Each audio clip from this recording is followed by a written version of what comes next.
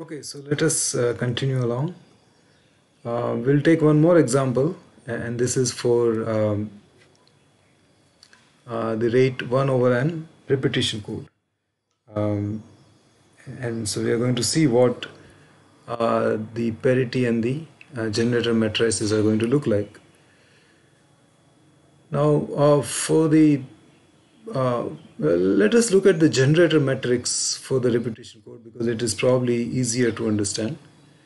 Um, uh, the, for the repetition code, the G matrix now is just a vector of all ones uh, of size uh, n cross 1 n cross k but k is equal to 1 remember for the repetition code k is equal to 1 and so G is nothing but a tall vector of all ones.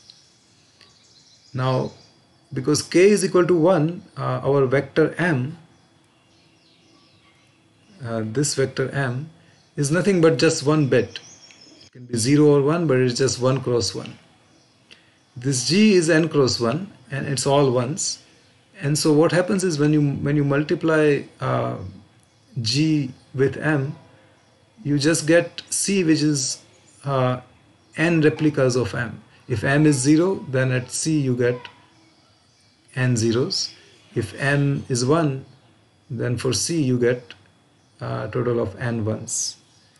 So uh, the generator matrix G for uh, for the repetition code is pretty pretty simple. Uh, all that it does is it, it ensures that the product G times M has the single me message bit m uh, getting replicated n times.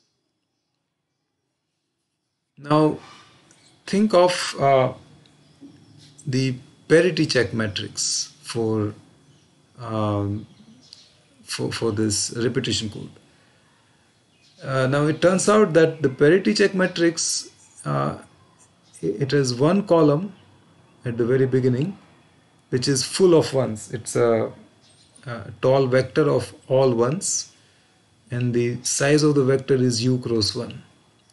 Remember u is the number of parity bits that the encoder introduces. In this case u is equal to n minus 1 because in repetition code one bit is repeated n times so extra bits that are introduced are n minus 1 and so here in H matrix the first column is all ones and there are total of n minus 1 such ones.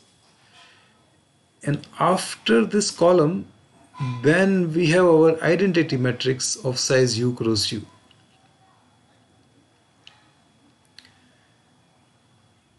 Now th with this H matrix uh, when you do the product uh, H times C then what happens is that there will be total of n minus 1 uh, checks that uh, that you will be performing in h times c uh, because h has u rows. Remember size of h is u cross n. And, because h has u rows uh, you'll be performing total of n minus 1 checks. And each check will be performed by one row of this H matrix. Now what check will that row perform? It will take the original message bit which, which is happening, uh, which is occurring at the first location and it will add it to a bit corresponding to the one of this identity matrix and that sum h times c it will check that it is 0 so that is what uh, that operation is going to do. Um, essentially this uh, parity check matrix is going to make sure that the modulo 2 sum of the first bit which is the message bit and each of the n minus 1 uh, parity bits is 0 which is how it has to be because uh, because we are replicating each bit uh, we, are, we are replicating the message bit n minus 1 times and, and so the first bit and any of the other bits cannot be not equal which is simply what this H matrix ensures. Now, the, for, for, for you to get a good handle on this uh, two examples that we have given, uh, you should practice yourself uh, uh, using a paper and pencil um, the G and H matrix for some simple SPC and repetition codes. Maybe you can take uh, N to be 5 and in case of SPC you can make K to be 4 and U to be 1. In case of repetition code you make N to be 5, K equal to 1 and U equal to uh, 4. And do, do some such simple examples and you'll get a feel of uh, why G and H matrices are the way they are uh, for, for the SPC and the repetition codes. Also, there is one uh, interesting duality between G and H matrices. If you look at uh, this H matrix for the parity check code, uh, which has vec vector full of ones and then the identity matrix, it looks a lot like the H uh, G matrix for the uh,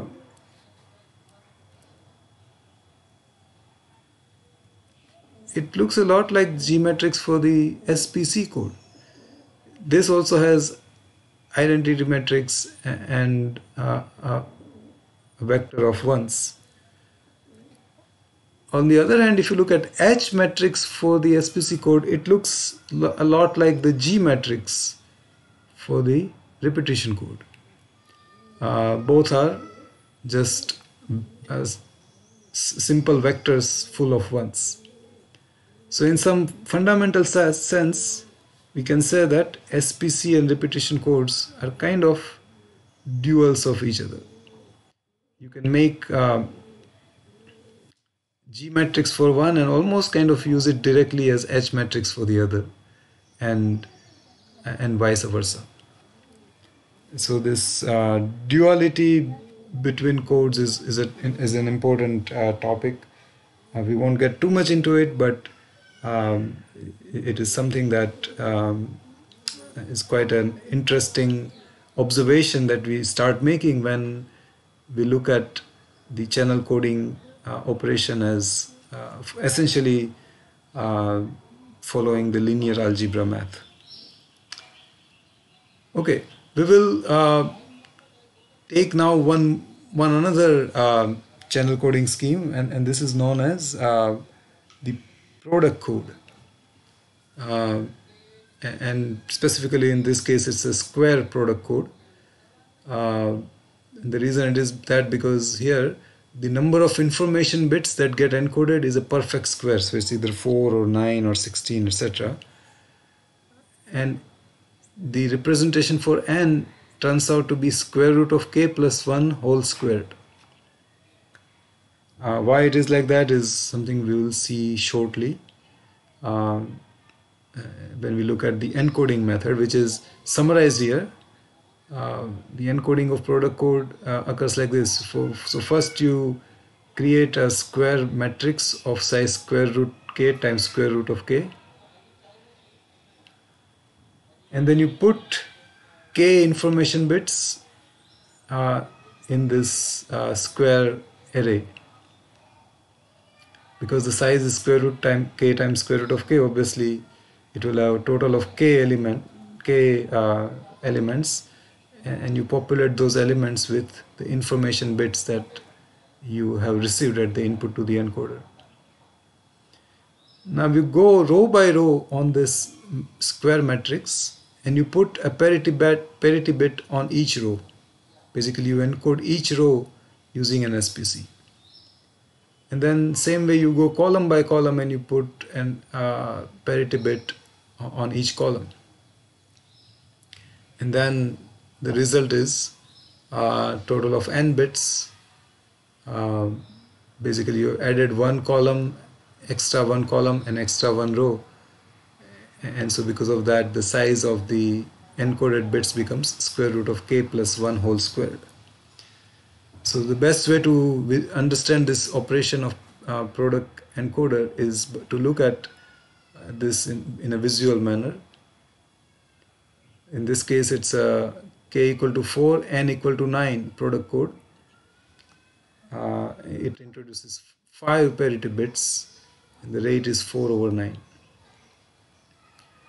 Uh, essentially there are 4 bits so you create a square array of size 2 cross 2 and you populate uh, this array with the message bits in the manner shown here m1 m2 m3 m4 and then you encode each row with an SPC and so you get P1 and P2 and similarly you encode each column with an SPC uh, so you get uh, P3 and P4 uh, and then you can even encode this parity bits using a, another parity. It's like parity on top of parity and you get the fifth parity bit uh, which is sum of p1 plus p2 uh, remember all of this additions are modulo 2 I, I have not explicitly mentioned that here but as we have noted earlier that is to be understood now what I ask you to do uh, is that you determine the generator matrix G. Remember G will have size of n cross 4. Why? Because there are 4 message bits, k is equal to 4 and n is equal to 9. So G will have size of 9 cross 4. And you are also asked to determine the parity check matrix which in this case obviously will have size 5 cross 9 uh, 5 because there are a total of 5 parity checks P1, P2, P3, P4, P5 uh, and 9 because there are 9 uh, encoded bits represented in this bigger outer square matrix.